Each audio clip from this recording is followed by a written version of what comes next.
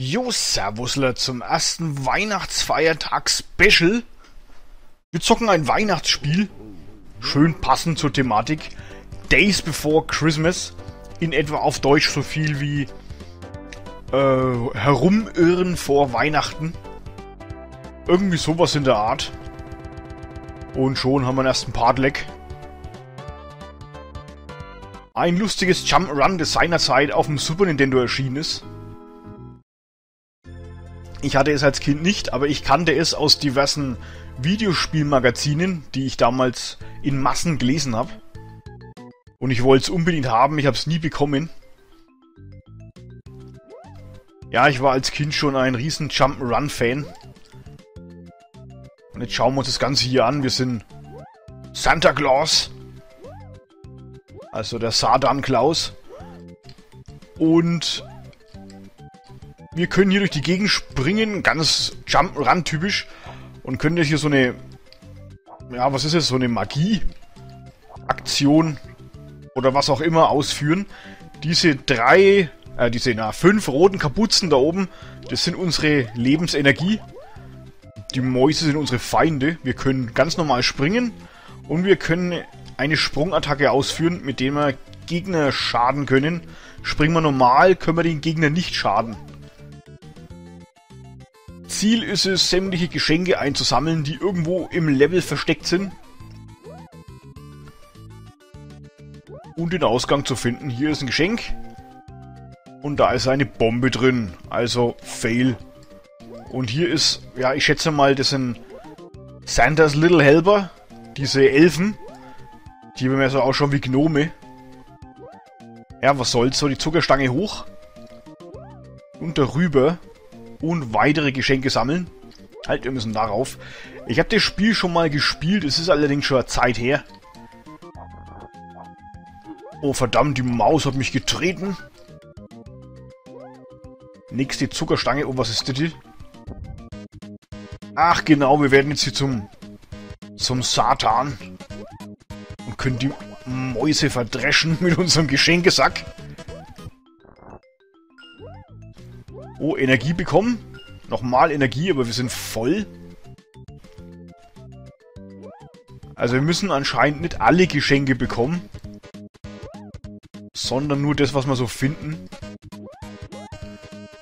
Ah, ich kann es nicht einsammeln. Ah ja. Kommen zu der Levelausgang. Ja, ich will aber noch Geschenke sammeln. Ich war noch nicht links hinten. Eine Bombe. Da oben, diese Glocke, müsste, so viel ich noch weiß, so eine Art Checkpoint sein. Bin mir aber nicht mehr ganz sicher. Und da unten ist ein One-Up. Und das will ich haben. Klar will ich das. Na, geh auf. Rutscht die oder klettert die Zuckerstange nach oben. Fetter Sander. So, wo war das One-Up? Hier war's. Gib es mir. So geht's jetzt nicht. Jetzt, Ein One-Up und wieder die Maus. Oder Ratte oder was auch immer. So. Oh, Bombe. Ey, das Geschenk ist voll Bombe, ey. So, jetzt können wir zum Levelausgang. Müsste ganz rechts sein, soviel ich noch weiß. Ah ja, da waren wir ja gerade. Klar ist er da. So, jetzt kriegen wir für die diversen Geschenke diverse Punkte. Jedes Geschenk hat eine andere Punkteanzahl, je nach Farbe. Aber die Punkte an sich, die sind mir relativ rille, ehrlich gesagt. Hier haben wir unser Levelmenü aufgebaut wie ein Adventskalender. Hübsch gemacht. Gefällt mir. Ja, das Spiel, das hätte ich seinerzeit als Kind geliebt, wenn ich es gehabt hätte. Pinguine. Schneeball schmeißende Pinguine. Und da wird das Santa's Little Helper. Und der Schneemann schmeißt seinen Kopf. Oh, ein Schachtelteufel. Und schon ist unsere Energie fast weg. Muss ein bisschen aufpassen. Ein bombiges Geschenk. Oder Schneemann. Und genau wieder in den Kopf gerannt. Ich Idiot. Jetzt muss ich aufpassen. Sonst bin ich bald hops. Und wenn Santa Claus stirbt, ist Weihnachten gelaufen. Ja, das war der Levelausgang. Kann ich mich noch dunkel dran erinnern. Level 3. Ice Cave, die Eishöhle. Ja, das war ein bisschen verzwicktes Level hier. Oh, Fledermaus. Die dürfen in keiner Höhle fehlen, in keinem Jump'n'Run. Dürfen Fledermäuse fehlen. Was war denn das hier nochmal? Ach, genau. Damit konnte ich die Eiszapfen schmelzen und schon rette ich Rudolph the Red-Nosed Reindeer. Auf der Seite war, glaube ich, auch nochmal eins. Schon mal die Fledermaus platt machen. Oh, nochmal ein Pinguin. Energie. Und die Wolken verschwinden, wenn wir zu lange drauf stehen bleiben. Nochmal Energie. Und genau, hier ist Rentier wieder befreien. Prancer and Dancer and äh, wie Donner and Blitzen und wie die nicht alle geheißen haben. Ja, also eher was für Amis. Bei mir in meiner Kindheit kam ja jahrelanges Christkind. Oh, jetzt bin ich wieder der Teufel.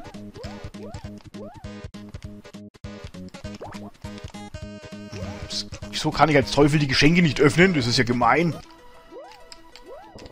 Habe ich hier eigentlich irgendwas verpasst? Äh, ach nee, hier war das Reindeer. Nochmal nach unten. Geschenk mitnehmen. Pinguin. So, und schon bin ich wieder das Teufelchen. Er ist ein bisschen blöd gemacht, dass man als als Teufel keine Geschenke aufmachen kann. Ja, das ist wahrscheinlich für die bösen Kinder, die kriegen keine Geschenke. Oh, oh, Checkpoint. Auf jeden Fall kam in meiner Kindheit noch das Christkind.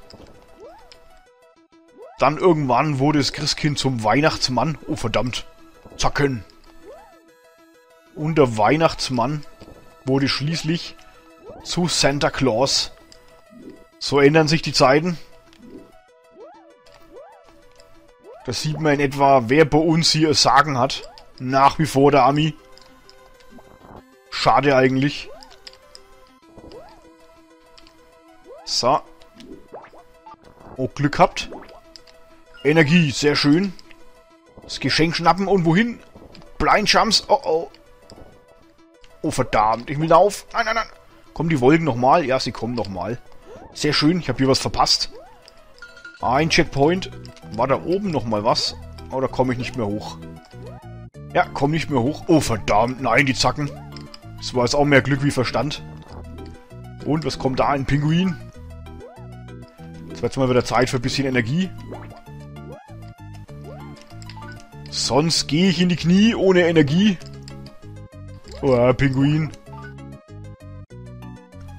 Wo muss ich hin? Nochmal ein Pinguin. Oh, Zacken. Oh, geh weg.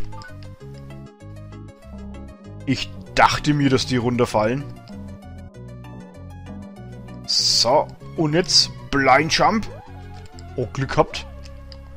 Hat mir nicht geschadet, warum auch immer. Oh, Levelausgang. Sehr schön. Er ist ein spaßiges kleines Jump'n'Run mit Weihnachtsthematik. Gefällt mir. Und ist so richtig schön passend fürs für den ersten Weihnachtsfeiertag. Blue Magic. Oh, ein Spielzeughubschrauber. Aha. Ein Gegner. Oh, das Geschenk ist ab. Aha, den ersten äh, Gnom, Elfe, was auch immer, befreit. Schachtelteufel, check in the box. Und Sackgasse. Wo müssen wir hin? Geht's da rein? Nein. Check in the box. Oh, ein Förderband. Geht's da rein? Sieht ein wenig aus wie bei Alice im Wunderland. Und Santa als Geschenk. Und schon ist das Geschenk weg. Wo muss ich jetzt hin? Oh, Trixie. Witzig, witzig. Oh, ein Leck. Und nochmal so ein Teil. Sind wir jetzt wieder ein Geschenk. nein, nein, nein, nein. Oh, verdammt. Das war die Gier. Das war die Gier, die mir das Leben gekostet hat. Fange ich jetzt von vorne an. Ja. Wir hatten keinen Checkpoint.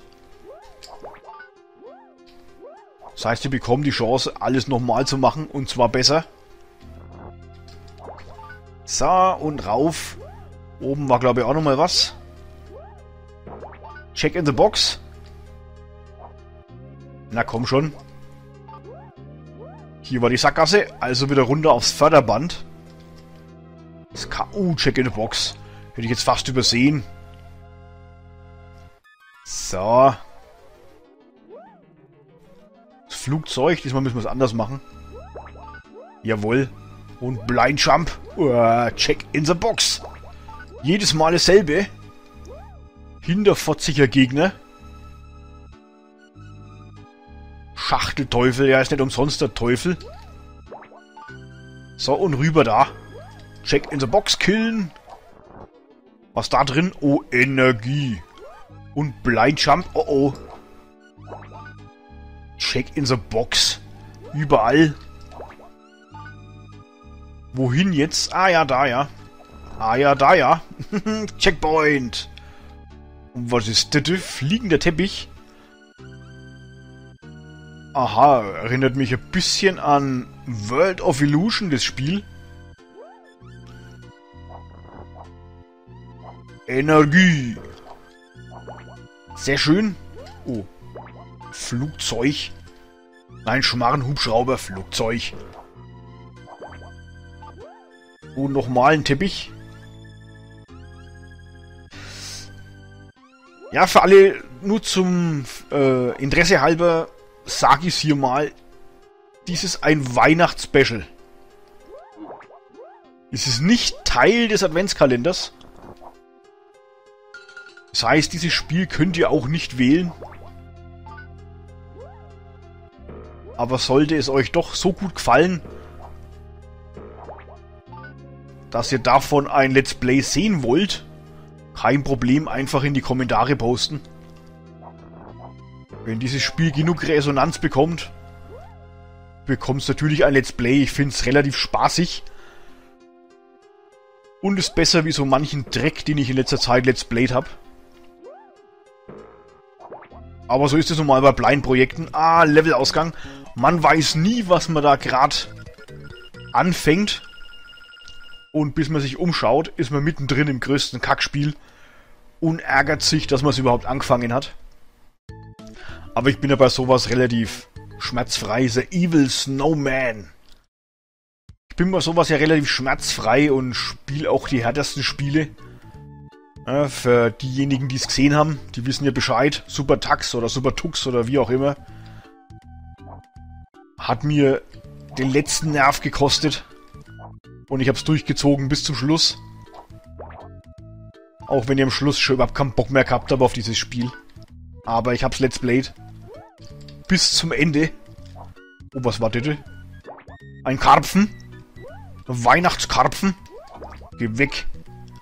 Schneemann. Uah. Kommt da jetzt eigentlich ein gigantischer Schneemann-Endboss? Ich weiß es gar nicht. So weit wie jetzt habe ich noch nie gespielt. Uh, diese Schneemänner sind Trixie. Oh, fast welcher soffen. So lustige Karpfen. Oh, jetzt kann ich wieder Eis schmelzen. Ah. Endboss-Feeling. Arsch.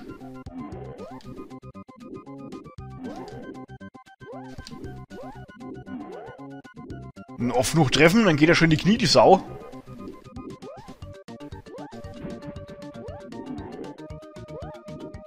Mache ich das so richtig? Jawohl. Und schon ist er geschmolzen. Sehr schön Energie und Levelausgang. Ein Traum.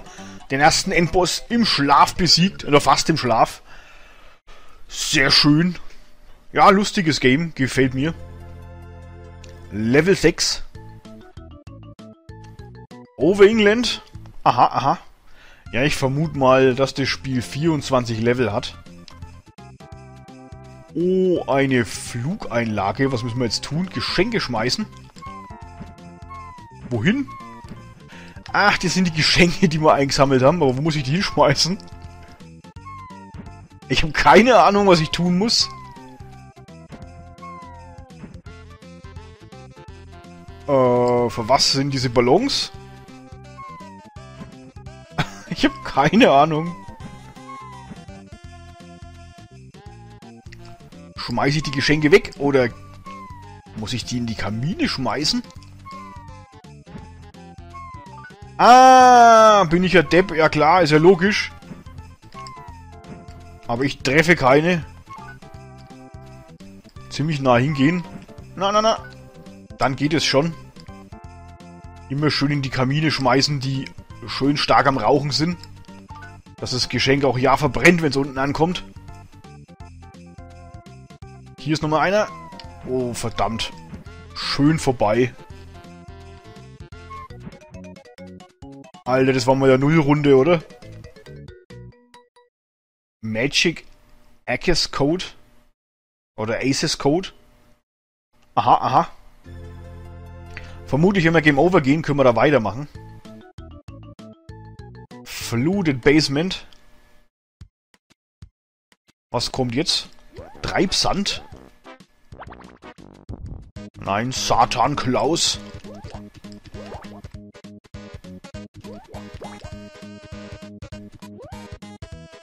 Oh, bin ich schon Depp.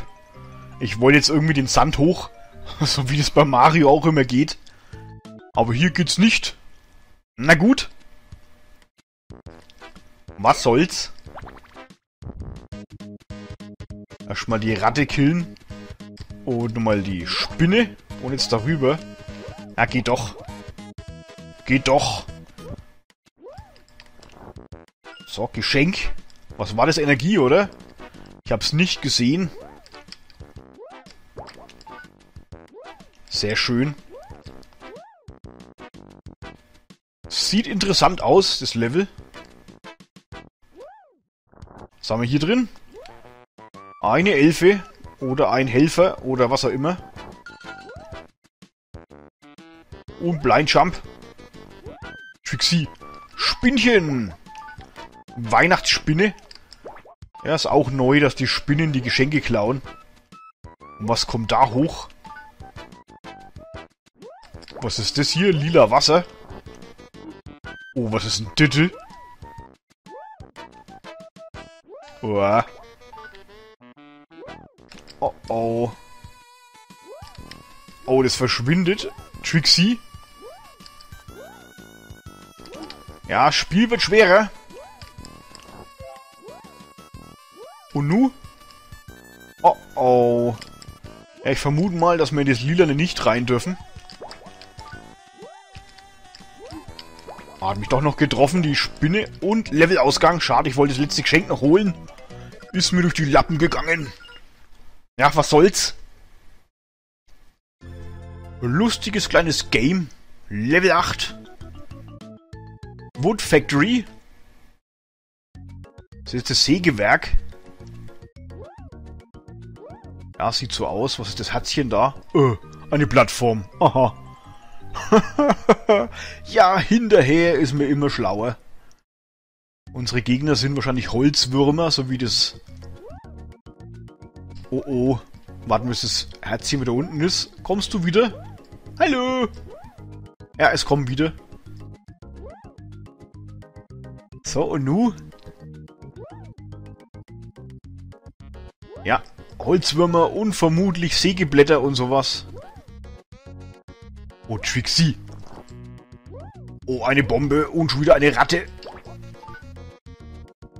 Warum hat eigentlich Ungeziefer die Weihnachtsgeschenke äh, äh, geklaut, versteckt, was auch immer? Oh, Trixie. Hat es irgendeinen Hintergrund? Oh, wieder Satan. Wohin? Oh, na. Ich hab mein Herz verloren. Wo ist es denn? Ist mega Trixie. Kann ich jetzt da nach links auch wieder rüber? Ja, es geht. Aber da ist auch nichts Besonderes. So. Ja, grafisch ist das Spiel typische 16-Bit-Kost. Es wirkt nur ein bisschen gezoomt. Warum, weiß ich auch nicht. Als wäre es ein Game Boy Advance Spiel oder sowas, aber es ist ein Super Nintendo Game. Keine Ahnung, warum das so ist. Ah, also auch manche Game Gear Spiele wirken gezoomt. Und ich Depp bin nicht gesprungen. Da nützt das ganze Zoomen nix. Fange ich jetzt wieder von vorne an. Nein, wir hatten den Checkpoint. Sehr schön. So, auf geht's. Oh. Ratten. Oh, der schon wieder. Die brennende Ratte. Ah.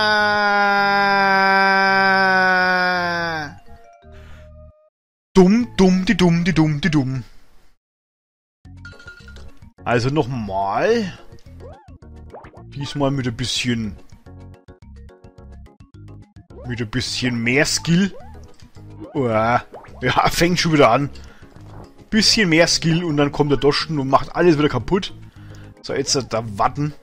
Das ist so tricksy hier. Zumal man das Herz so spät sieht. Hätten sie ruhig ein bisschen rauszoomen können, dass man mehr Bildausschnitt hat. Äh, zu früh. Dorsten, was magst du denn schon wieder? Jetzt gehen meine ganzen Leben drauf in diesem blöden Level hier. Nicht schön. Ach, geh.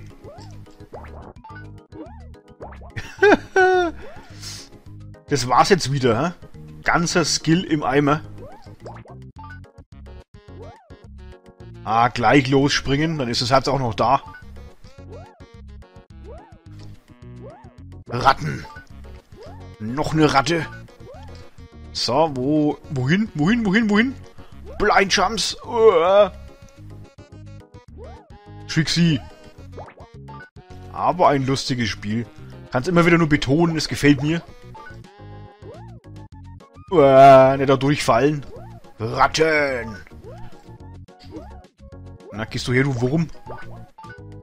Da unten ist mit Sicherheit nix. Geh mal da rauf. Rauf aufs Herzchen. Und die Ratten töten. Oh. Eigentlich ist es gar kein Weihnachtsspiel. Das ist... Nein, jetzt dachte ich schon. Es ist mehr so ein Kammerjägerspiel. Oh verdammt, was war denn das? Ah, Checkpoint. Das war die rechte Faust vom Check in the Box. Gucken, ob wir hier mal verpasst haben. Außer den Holzwurm nix, oder? War da hinten noch was? Nein, hier war nix. So. Rüber hier. Von Herz zu Herz. Ganz schön tricksy. Und nu? Oh oh, ach, das ist doch, das ist doch scheiße.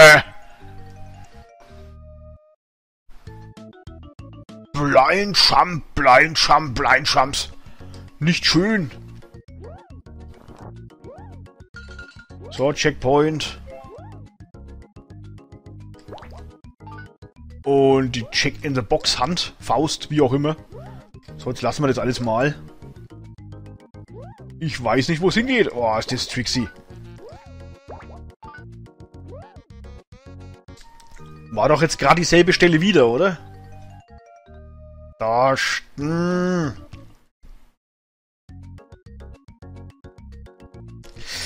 Ja, das Spiel hat, es, äh, hat ein kleines Problem. Oder der Spieler. In dem Fall ich. Nee, das Problem ist ganz einfach, dass man nicht früh genug sieht, wo man hin muss. Eben aufgrund des geringen Bildausschnitts. Ah, ich muss raten, wo hier die Herzen sein könnten. Oh, ist das Trixie. Alter, wie viel kommen dann noch? Energie. Levelausgang geschafft. Ja, schade, dass man da raten muss. Wenn man schon in der Lage ist, ein schweres Spiel zu programmieren, dann muss man zumindest die Sicht äh, irgendwie verhunzen. Und das haben sie hier geschafft. Indem sie reingezoomt haben. Leider, leider. Aber trotzdem gefällt mir das Ganze hier. Meine magische Fähigkeit nutze ich überhaupt nicht mehr, fällt mir gerade so ein. Oh, was denn das ein Panzer? Ohne Bombe. Der schießt. Der Panzer ballert. Oh, was ist denn das? Ein Kopf. Check in the box.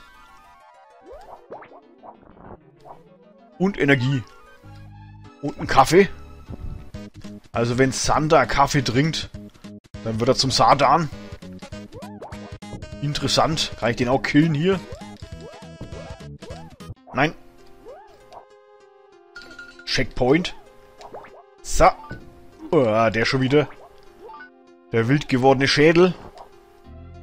Und die Bombe. Wohin? Oh, diese Schädel sind Trixie. Und der hier. Ja, die Gegner sind schon witzig. Keine Ahnung, was das sein soll. Sie nerven auf jeden Fall. Geschenke. Check in the box. Oh, du schon wieder. Ach, der springt durch die Wolke. Ja, genau. Woher soll man das denn wissen? Ja, genau. Gib mir dann Fußtritt. so ein Arsch.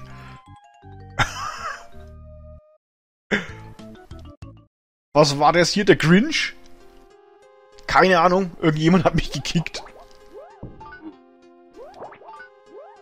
So, jetzt aber. Hier war Check in the Box. Nein, hier war die Bombe. Geh halt weg, du blöder Schädel. Sonst kommt Marie, mein Henkersmädel. So, was war da drin? Check in the Box, hier war der. Jawohl, ja, jetzt müsste gleich der Fuß kommen. Der Kickefuß, hier ist er. Aber ich kann ihm nicht schaden. Was tue ich? Was muss ich tun? Ah ja, drüber. Panzer. Was haben Panzer mit Weihnachten zu tun? Gut, was haben solche Monster mit Weihnachten zu tun, aber... Oh, Checkpoint. Sehr schön. Trixie, Trixie. Wohin? Geschenk. Oh, Bombe, weg hier. Sehr ziemlich kranke Welt, in der wir da sind. Nein, dieser Kickefuß geht mir auf den Keks. Und der Panzer. Die Sowjets. Ja, das war ja so eine antireligiöse Staatsform. Schon möglich, dass die den Weihnachtsmann killen wollen. Außerdem Santa Claus im Begriff westlicher Kultur. War den Sowjets mit Sicherheit ein Don im Auge. Ich weiß gar nicht, wer bei den Russen an Weihnachten kommt. Christkind. Oder wieder jemand anders. Ich glaube, die sind alle orthodox oder so. Steel Factory. Stahlfabrik. Stahlwerk. Kommen jetzt da die Rainbow Warrior. Und was sind das? Ein ferngesteuertes Auto? Ich weiß schon, was der Panzer sein soll. Spielzeug.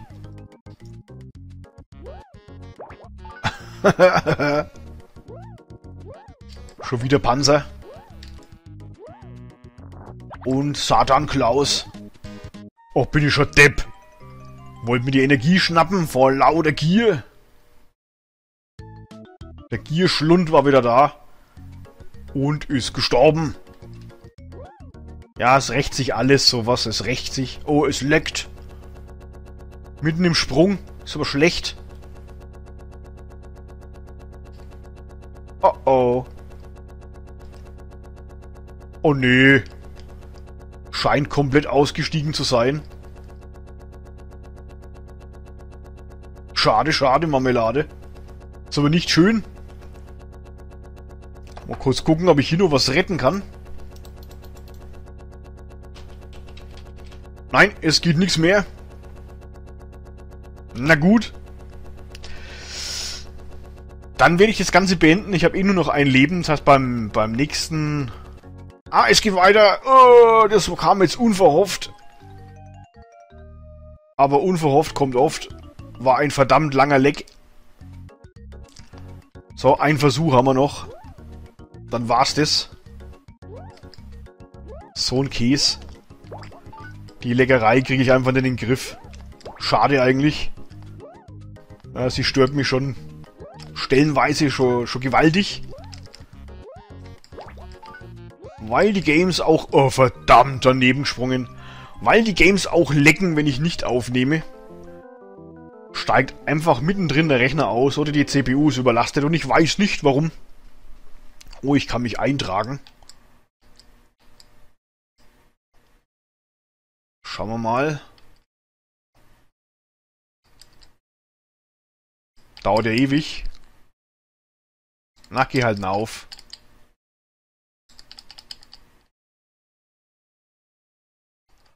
Es dauert.